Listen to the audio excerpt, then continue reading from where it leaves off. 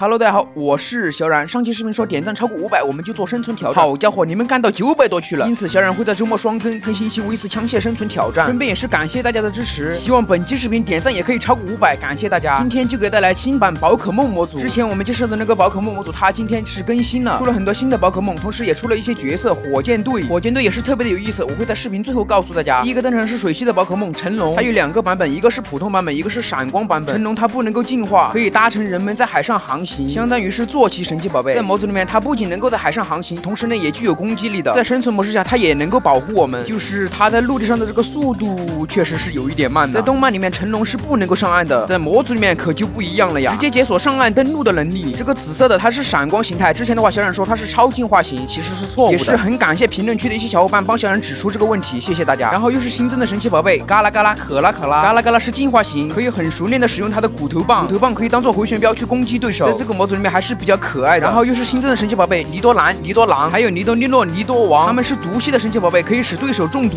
尼多王也是非常的帅气，他们的颜色不一样，是因为他们的性别不一样。尼多王呢，在模组里面并不能够成奇，但是在生存模式下很适合保护我们。前面居然刷新了一只九尾，其实呢，九尾在上个版本当中已经出了的，小冉没有给大家做介绍。我感觉这个宝可梦的模组做的是越来越棒了。现在它不会乱刷宝可梦，在不同的地形当中可以生成不同属性的宝可梦，越来越有 PC 端的味道了。阿伯怪也是我们新出的宝可梦，在草原地形上经常容易遇到，好像是因为属。属性相克的原因吧，我们的阿伯怪好像打不过九尾，这个九尾也是比较的厉害，好吧，直接巧妙的运用地形把阿伯怪给卡死了。接下来也是一个新增的宝可梦，不过这个宝可梦的话，小冉好像还没有见过，它的脸感觉有点像鬼刺通，不过鬼刺通是紫色的，它的话这个外壳是蓝色的。有没有认识的小伙伴呢？如果有认识的小伙伴，可以在评论区告诉小冉哟。是呆河马，是由大蛇背和呆呆兽合体进化而来的神奇宝贝，是水系的，非常的搞笑，非常的呆萌。话说，如果我们在生存模式下遇到危险了，这个宝可梦会保护我们吗？好了好了，我们就不要在意这些细节了。好，接下来给大家演。示一下我们的火箭队，这个火箭队他们就很厉害了，我们只需要打一下他，他就会召唤出自己的宝可梦出来对战，而且大部分的宝可梦都是高级的宝可梦，每一个人的宝可梦也都不一样，但是的话有几率会重复，看吧，就相当于抽奖游戏一样。哎，他们召唤出来的话，我们能不能驯服呢？哎，如果可以驯服的话，嘿嘿。